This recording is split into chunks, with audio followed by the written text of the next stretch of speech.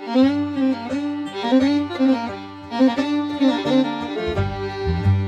y'all, so uh, Merry Christmas, and today I figured since it's Christmas and I haven't done a rifle in a while, today we're going to look at a rifle. We're going to look at something kind of iconic and fitting for Christmas, the Daisy Red Ryder BB gun carbine. Uh, kind of been produced for a while, kind of iconic, not real expensive, and can be a lot of fun for children of all ages. So first we'll look at it on the tabletop, and then I'm actually going to uh, take it to the range, kind of, sort of, and we're going to set it up and do some testing. So let's look at it. Now, they claim on the box you get about 650 shots into one of these, which I guess technically makes it illegal in some states. Sorry, states that have uh, capacity bans, but, um, you know, I don't know what to tell you. But, um, and yes, that's a joke, by the way. It's a BB gun. But um, so 650 shots, and they get loaded in this tube, right? So you would open this door here. You could put your BBs in, and it is a smooth bore barrel, but the barrel's in there, and then there's this shroud around here that you would fill with BBs.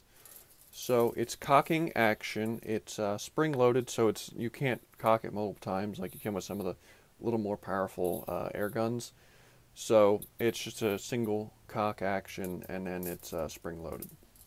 Sights on it are actually, they're not like amazing, but they're not terrible. You got a nice rear notch that's wind uh, elevation adjustable.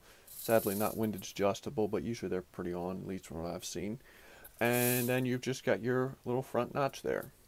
So wood on it isn't terrible. I mean, it's again, you know, this is something you're getting for about twenty dollars. So you know, you've got uh, pretty thin wood, but you know, it's a BB gun, so it's it's just fine, right? Um, they did a nice little uh, laser engraving here, where it's you know Red Ryder with the little horse and cowboy. Uh, finish on it is not bad. Um, I'm assuming this is nothing fancy. I don't know what finish they put on here. It might just be paint or something, but it's not flaking off or anything. I mean, I haven't, you know, left it outside to truly test it, but it looks nice. Like it looks, uh, I usually have mine just sitting in the corner right next to the box, which is kind of cool. That's actually part of the reason why I got mine was the box, at least at the time I purchased it, was kind of cool. And I'm going to show it here, right? So kind of, you know, the box itself, they really do a nice job of catch of capturing the, you know, iconic, um, you know, look of it, even though this is a modern gun. And that's, I guess, the one thing I should mention that um, they have modernized them a little bit. They have, I guess, I'm assuming some of the early ones were all metal, where this they have replaced a couple things with plastic, like the um, lever on here is plastic, which actually I think is kind of a plus, maybe, because it's a little not as rough on your hand. That is the one thing depending upon how you cock it, because it's a, you got to use a little bit of force to cock it. Uh, this I wish was a little bit wider. Maybe it wouldn't be as rough on your hand. But again, absolutely no problem, and it's not like it's gonna cut in and annoy you. It's just you know personal preference, I guess. As an adult, having a little bit bigger loop would be nice. Uh, speaking as uh, being an adult, um, while of course the gun is designed, you know, for a kid, as an adult, you'll be able to shoot it just fine. You you aren't you're not going to feel like you're super scrunched up on something that's uh, too small for you. So with that being said, we've looked at the features and everything. Uh, let's go and uh, shoot it, shall we? Hey all, so here we are, set up in my living room, much like someone might be if they just received their brand new Red Ryder BB gun. And we're going to play a game called Don't Shoot the Internet Modem right there because they're expensive and we don't want to replace it. But uh, what I'm going to do is I'm going to go back about 10 feet and we're going to do some accuracy testing and see about how accurate this little Red Ryder BB gun might be. As an added bonus, I've set up my chronograph and we're going to see if we get some ballistics off of it. Now, I should say uh, the little BBs are quite hard to pick up on the chronograph. I'm going to fire about 10 shots and see what we can do. Um, I might only get half of them, if that, that'll register on a chronograph. But if they do register, I will call them out and we will see what we can get. So with that being said, let's take some shots. All right, here we are back at 10 feet. Let's see what we can do, shall we?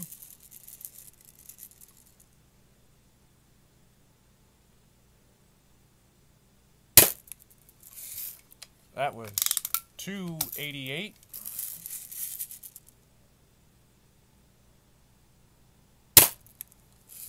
Two eighty seven.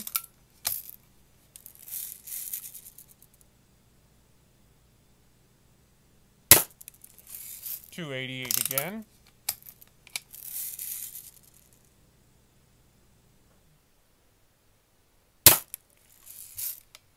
That was an error.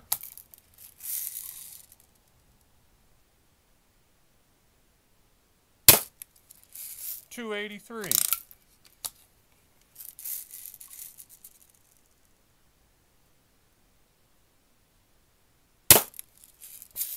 two.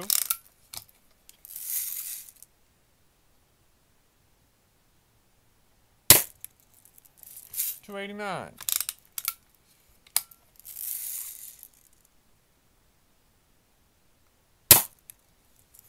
Two eighty six.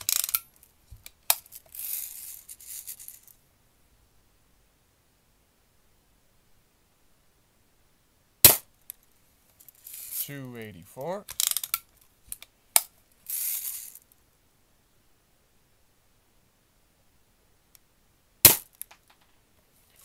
eighty four. Two eighty six. And we'll take one or two more and then we'll take a look at it.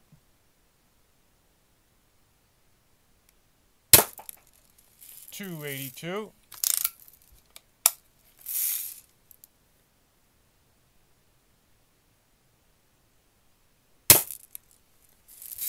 287. One more. One more just for good measure.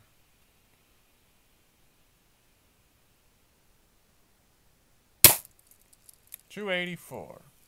Alright, let's go take a look at our target, shall we? Alright, here we are back on the workbench and let's see. Let's there's our target.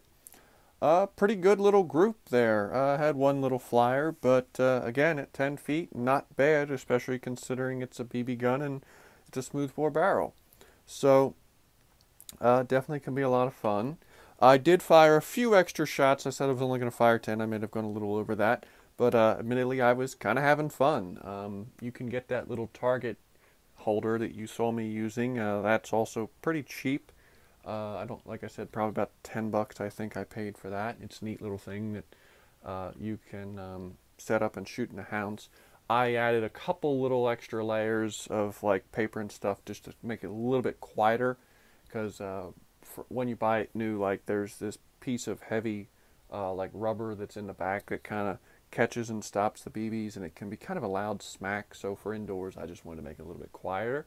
But um, that was a lot of fun and I've actually used that before. But uh, the chronograph was also doing pretty well. Um, couple errors in there but uh, like I said, with trying to capture speed of little BBs, uh, that's to be expected. But uh, we were averaging, I believe, about 200, uh, 280 yards, uh, or yeah, 280 feet per second, couple under, couple over, here and there. Um, so basically, they advertise 350 on the box. So I guess Daisy lives up to every other manufacturer's uh, advertised ballistics as being optimistic. Uh, so basically this fits in with every other ammunition slash gun manufacturer out there for being optimistic about their uh, ballistics. Um, they also, I guess the other thing on the box that's kind of funny is they, they say that the rack's range or shooting distance of this is about 195 yards. Now I'm quite sure you could probably get a BB to go 195 yards. Uh, in my experience, you're probably I wouldn't think more than 25 yards you'd be able to um, be much accurate with it, which is about what you would expect. I mean, you're not buying this uh, for much more than a toy, especially for a kid, and to set it up in your yard is kind of the whole fun of the thing. So yeah, as a as something to shoot in your yard or shoot in your house or anything like that, a uh, lot of fun. Um, I've had a couple of them over the years, and it's just you can't beat the fun of sitting in your uh, living room and taking shots with a BB gun or going out in your yard and terrorizing uh, anything, you know, squirrel or cat related. Notice I left out dogs because dogs are awesome and cats are evil. But um, yeah, a fun little gun and definitely, you know, for for a kid's first firearm related thing, I really can't think of much better than a Red Ryder BB gun. So uh, yeah, that's my uh, review of it. And if you have any questions, feel free to ask them. Uh, have a good day and Merry Christmas. Oh hell, I guess before I put everything away, I'll take a few last shots. What's the worst thing that can happen? Oh, damn it! Freaking went right in my damn eye. Almost shot my damn eye out. Ah, oh, that freaking hurt.